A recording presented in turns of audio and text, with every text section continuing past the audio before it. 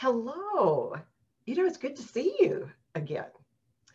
Um, I hope that you're having a great summer, and I hope that you have had a great beginning to the 2020 uh, to the 2021 2022 Rotary year. The good news is we're having a district assembly August 28th, Saturday, and we want you to come. I'm grateful to District Governor Gail Storey and Governor to be Nancy Stearman because they have agreed to give me 10 minutes on that day to bring you up to speed on where we are on our diversity, equity, and inclusion initiative that we started last year during my year.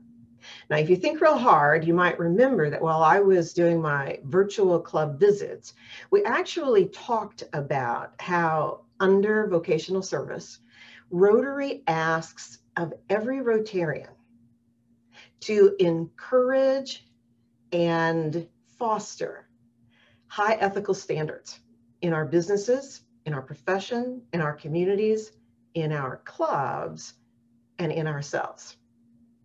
They ask us to be honest and fair and to treat those around us with dignity and respect and integrity.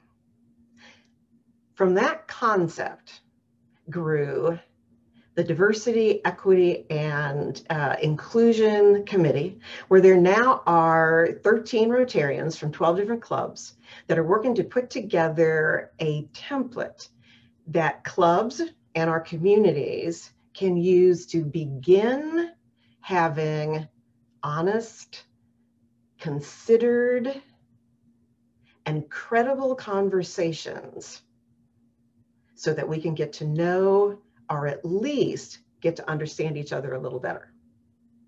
Now, if you want to know more, if you want to know where we are, you tune in August 28th.